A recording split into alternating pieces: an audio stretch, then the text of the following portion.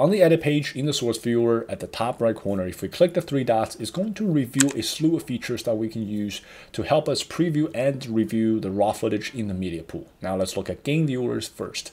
So right now we have two clips in the viewers, both have uh, 30 frames uh, per second and in most cases, you can review or look at uh, clips in the source viewer or your raw footage independently of uh, the clip that's in the timeline. They will have no influence on each other whatsoever. But if we were to turn on gang viewers, what you will notice is that now the playheads are moving in sync with each other.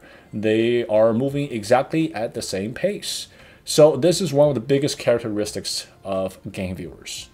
So one thing we can do, for example, is to place an in point in the source viewer and then an in point in the timeline. Now let's also do the same for uh, the out points. And now what we can do is to bring this section of the source clip into the timeline and place it uh, directly on top of this clip or uh, replace it because they are the exact same length. So it can be great for this type of editing.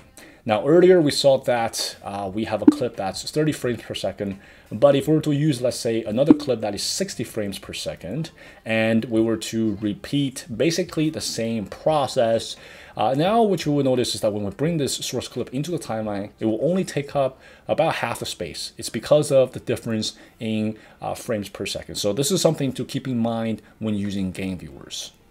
The next thing we're going to look at is something called live media preview. So let's go ahead and turn that on. And when we do that, you will notice when we hover over any raw footage in the media pool, it will immediately review it in the source viewer. It can be extremely helpful if you have a lot of raw footage to review and you want to review it fast. So uh, it can be very beneficial uh, for that uh, purpose.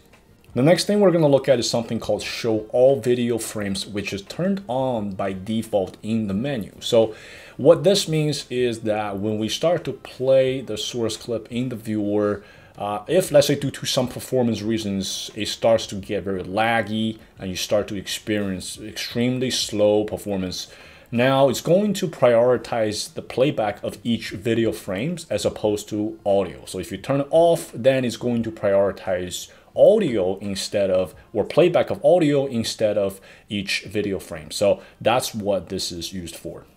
Okay, moving on, let's look at something called show zoomed audio waveform. So if we were to turn that on, you will notice that first of all, the audio waveform of the clip is going to show up at the bottom of the source clip, and it will always show the audio waveform where the playhead is.